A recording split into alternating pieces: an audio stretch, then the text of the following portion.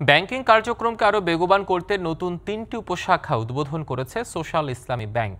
ঢাকার নাখালপাড়া, চট্টগ্রামের রাঙ্গুনিয়ার রাজারহাট ও পাবনার ঈশ্বরদীর আওতাপাড়ার এই উপশাখাগুলো প্রধান কার্যালয় থেকে ভিডিও কনফারেন্সের মাধ্যমে প্রধান অতিথি হিসেবে উদ্বোধন করেন ব্যাংকের ব্যবস্থাপনা পরিচালক ও প্রধান নির্বাহী জাফর আলম। অনুষ্ঠানে ব্যাংকের ঊর্ধ্বতন কর্মকর্তা সহ স্থানীয় বিশিষ্ট ব্যক্তিবর্গ অংশগ্রহণ করেন।